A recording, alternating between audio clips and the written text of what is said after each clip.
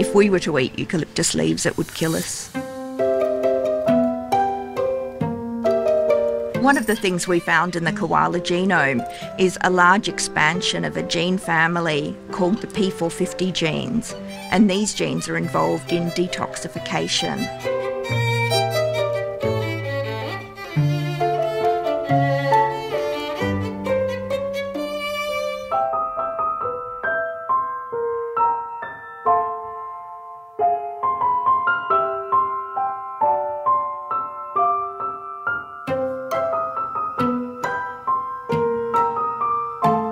We use these genomes to help inform population management.